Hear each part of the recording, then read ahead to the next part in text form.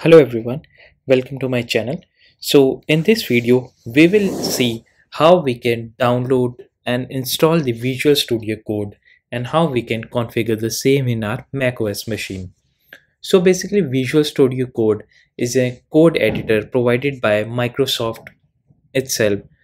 In this code editor, we can you know use for basically i use that code editor for my front end developments basically react or angular or react native or writing up html or you know any front end based code. But this is very powerful code editor.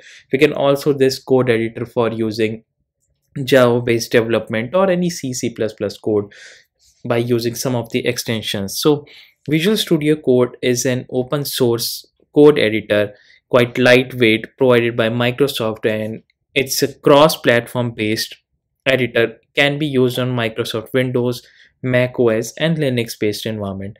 So I'm just going to download this for my Mac OS machine and going to configure this at start this.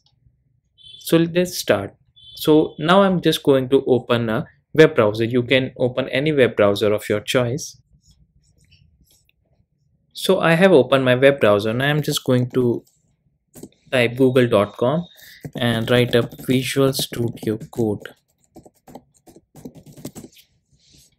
So the first URL in the search results from visualstudio.com, I'm just going to click on this URL and your web browser will most mostly automatically detect what type of OS are you using. So it detects I'm using Mac OS, so it shows me like you need to download for Mac OS. But if you are using any Windows based environment, be it Windows 10, 11 or any Windows version, you can download it for Windows based from here. Okay, and you can download it for Linux based also, and you also always have to need to download the stable version and but if you want to you know have the insiders version or beta release version you can also do so. So i'm just going to download the mac os stable version universal version. Okay. So i'm just going to click on download. I'm going to allow this. The download pop-up screen will open and it will start downloading. We can see it will download in few seconds based upon your internet speed okay so my visual studio code has been downloaded. So i'm now just going to click on this and it will just start run. So it will ask the application has been downloaded from internet and you just going to have to allow this to open. Okay so i'm just going to cancel this because i have already downloaded and copied the same to my applications folder. You can see i have copied the same to my applications folder. You can also do so by copying this same to your applications folder. Now i'm just going to open my visual studio code. So i'm going to my launchpad and i'm just going to open my visual studio code from here. So this is a default window for visual studio code. And visual studio code like i have earlier said you is a very good editor for you know using it for front end based development be it angular or react. It, it provide so many extensions so many you know extensions provided by official microsoft vs code itself or some of those are community based. So you can read about them search for all those extension and can be useful for doing up coding for front end okay so like i have you know added up the dark theme. You can also download some extensions for that so let's start doing coding. So i'm just going to click on this explorer and i'm just going to create a new folder. So i'm going here in my downloads. Now i'm just going to create a new folder. First project. Open. Visual studio code will ask you to access the downloads or documents folder wherever you want to create a folder of your project. So i'm just going to allow this. Allow the trust. Okay. So i can see my project folder has been opened up in my explorer. Now i'm just going to create one html file. Index.html okay. So you can see after creating my index.html you can see a logo or an icon of html file while creating this index.html similarly if i create one js file also app.js you can see js icon there. And similarly if i create any css style.css you can see css icon.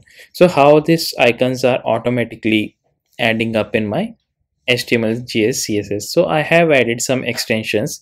So i have added one extensions material icon theme.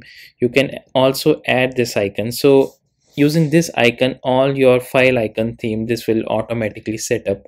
So after installing this i have already installed this. This extensions are provided by Philipp Kief. So you can also download and install this. So after downloading what you need to do is just go to file and you just need to go to preferences. As i'm using mac os system so i'm just going to code preferences and i'm just going to select file icon theme. And from here i have selected material icon. Okay if i selected none so that won't be visible. Okay so this one is a useful icon. It you know while working on a large project where multiple files are there. So if you want to you know just differentiate between what are js or you know what are css so by you know seeing those icons you can differentiate between two. So it's a useful icon. Now coming back to the code part i'm going to code one html code. So i'm use i'm just going to code it. So let's start. So entering exclamation and enter. Okay. So you can see i have just written all the all that much amount of code html in a probably one or two seconds. So that's emmet coding.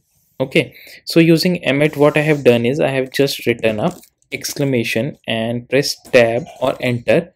So my html or default structure of html code comes up. Okay.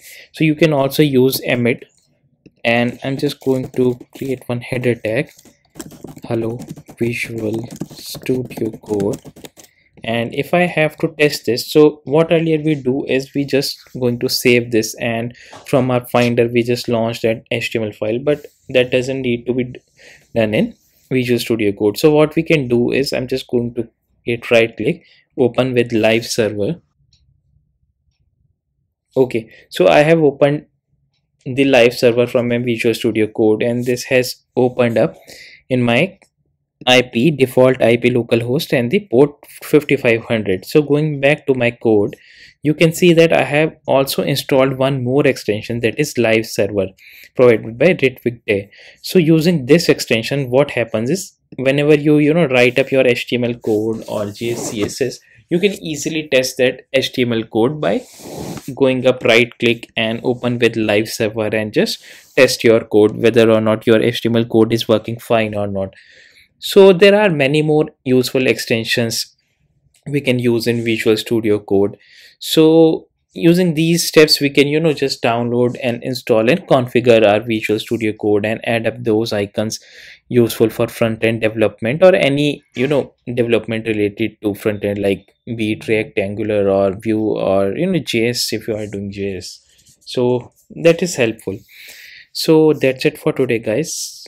Please comment if you have any suggestions or if you have any doubt for this. Thank you. Have a good day